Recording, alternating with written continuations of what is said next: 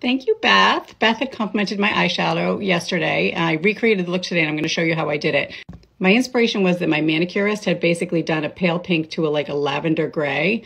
So I really kind of like that ombre. So I was like, oh, let me kind of do something like that. So let me show you how I did it. I started out, this is the first time that I had tried the Lip Sense eyeshadow, but this is in the color Shell Glitter.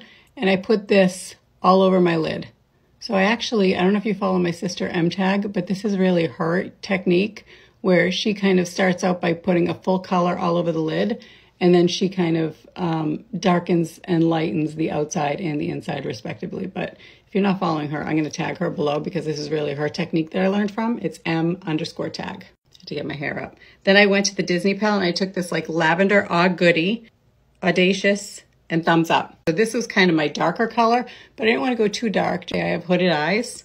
So actually, as Erica Taylor says, what does she say? Over the eyelid and over the hood. I don't know what she says, but it's wicked funny when she says it.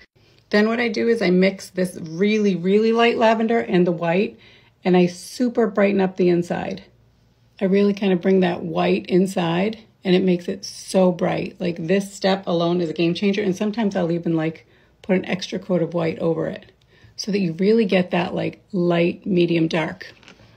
Isn't that awesome? Then I give it a little zhuzh but not too blendy. So I do want that gradation to stay. And then I'm going to pop a little baby wing on it, just something to like extend my eye. And I do this because I'm not good enough to do a really nice wing. And that's about as easy as it gets. And then I think I'll go with L'Oreal Voluminous. And there you go. There is the final look. I also just did a tutorial. I just haven't posted it yet about hairless heat curlers. So this was literally last night, no heat. And honestly, when you do a glimmer, always make sure you do like a little tiny glimmer on your nose.